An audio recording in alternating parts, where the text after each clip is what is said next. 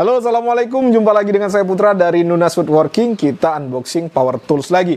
Oke, kali ini saya kedatangan sebuah gerinda yang katanya ini kualitasnya hampir menyamai atau sudah menyamai gerinda-gerinda dengan merek ternama seperti Bosch, Ryobi, Makita atau Maktek ya. Katanya seperti itu. Jadi saya penasaran, saya mau lihat ya apakah benar atau tidak.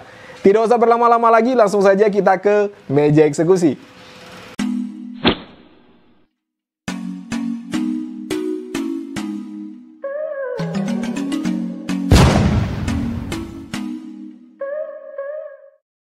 Oke, ini dia teman-teman, gerinda dari Osel.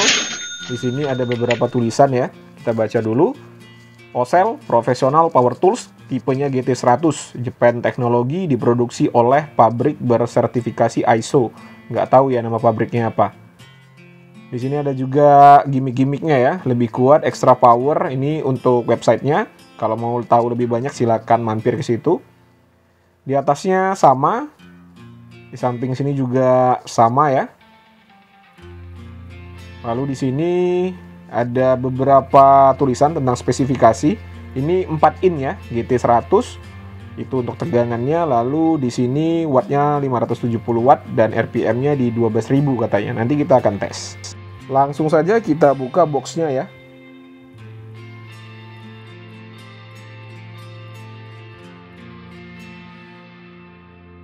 Oke, sudah kosong, tidak ada apa-apa lagi di dalamnya.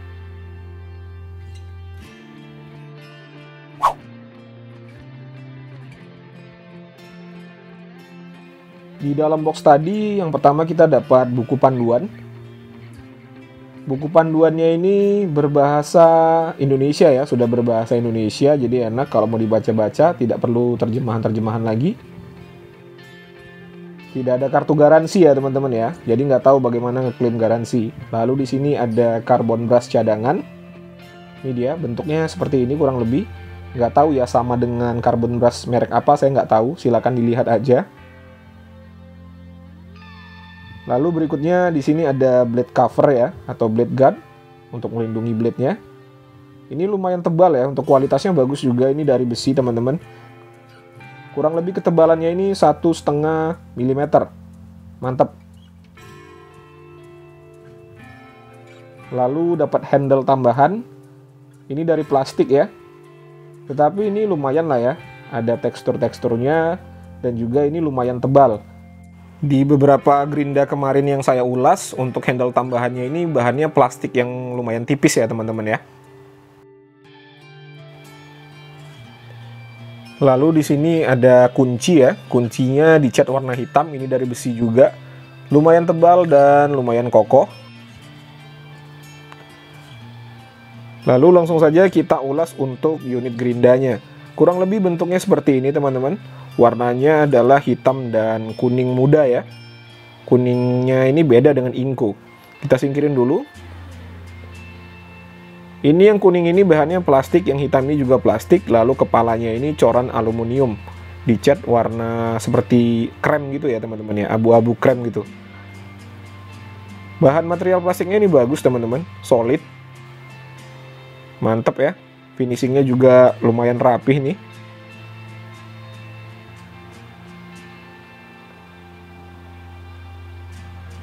Ini ya, ada tulisan Osel yang di emboss jadi ini bukan produk generik atau rebranding ya. Ini sudah ada embosannya. Lalu untuk material kabelnya ini tebal ya.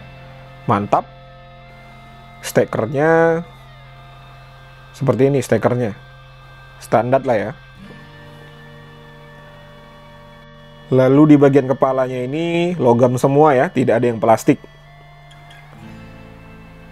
Kurang lebih build quality-nya seperti ini ya, bagus lah. Bagus ini teman-teman untuk build quality-nya.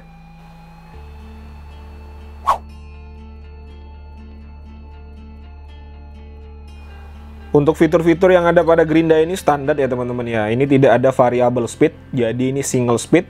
Di sini ada tombol on off yang sudah dilindungi ya. Ini dilindungi.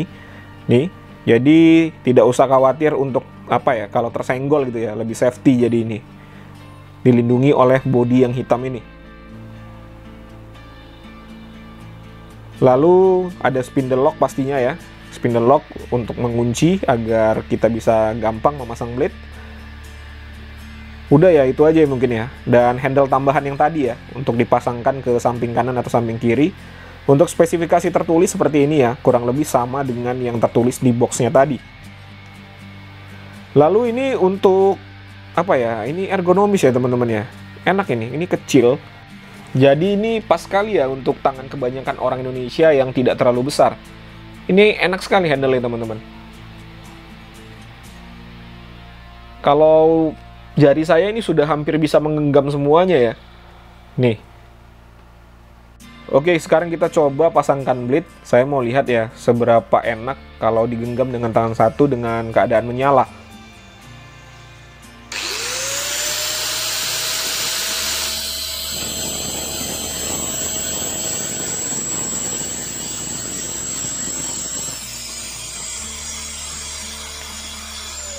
enak ya teman-teman ya getarannya minim jadi selama saya mencoba beberapa gerinda ini salah satu yang paling enak untuk di handling ya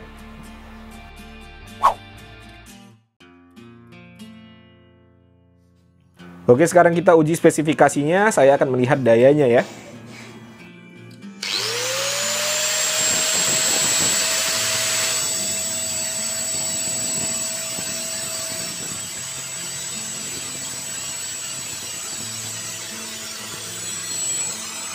Ya, tercatat di sini 450-an ya untuk watt tanpa bebannya. Sekarang kita lihat berapa RPM, apakah 12.000 seperti yang dia tuliskan? Kita coba aja ya, biar tidak penasaran.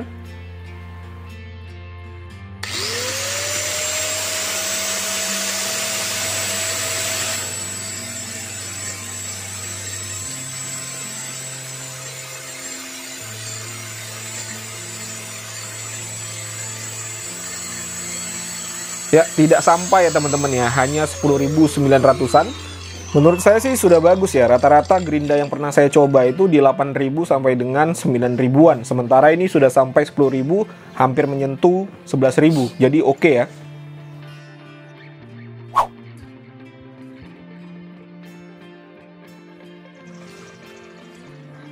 Langsung saja kita uji V-formanya. Saya menggunakan mata cutting wheel ukuran 4 inci saya akan memotong besi hulu dengan ketebalan kurang lebih 1 mm.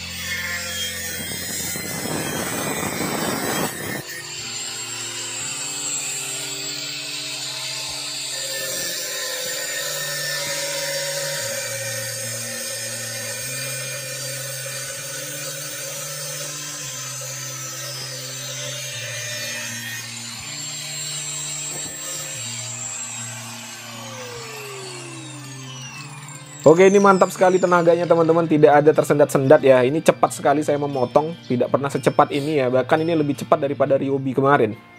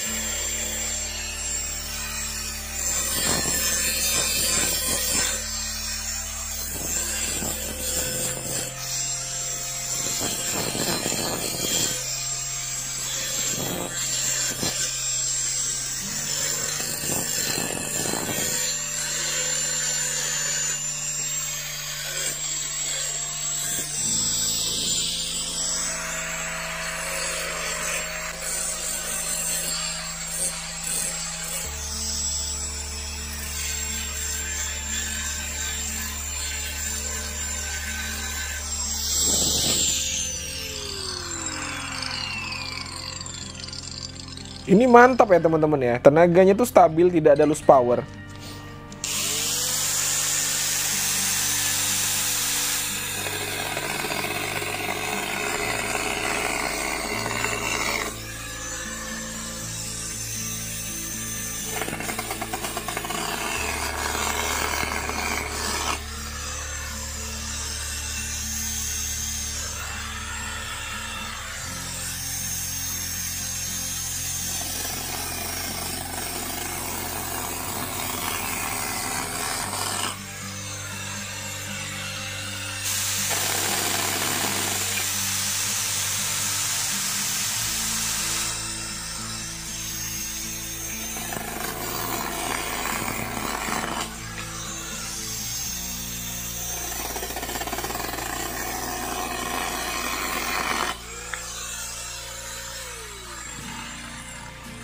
Kita ukur dulu ya berapa suhunya ya. Apakah dia demam?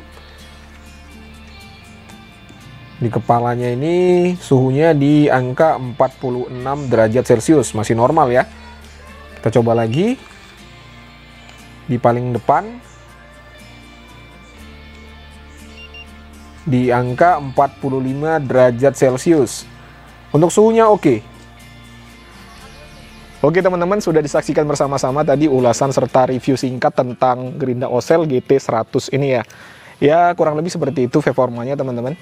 Sekarang kita akan bahas plus dan minusnya menurut saya ya. Ini menurut pandangan saya setelah saya menggunakan Gerinda ini tadi.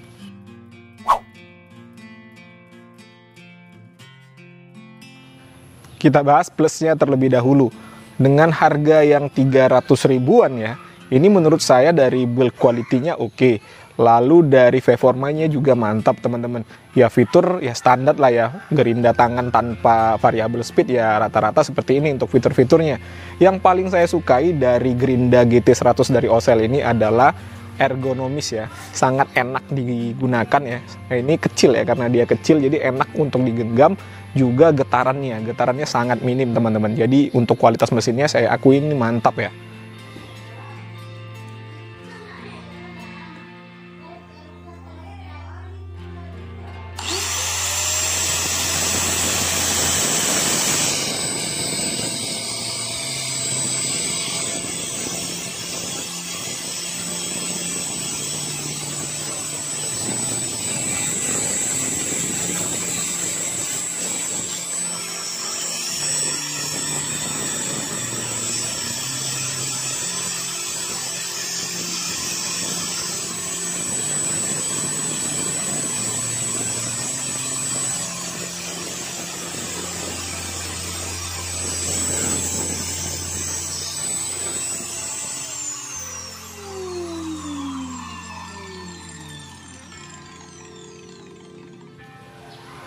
Lalu kalau kita bicara kekurangan, terus terang dari unitnya sendiri saya belum menemukan ya, dari unit gerindanya ya, saya belum menemukan kekurangannya setelah saya gunakan tadi. Tetapi menurut saya ada yang kurang juga dari layanan purna jual ya, seperti service center, layanan garansi, lalu ketersediaan spare part masih bisa dipertanyakan ya untuk Kosel ini. Tetapi kalau teman-teman ada yang tahu informasinya, bolehlah dituliskan di kolom komentar ya sebagai sharing ilmu di antara kita semua.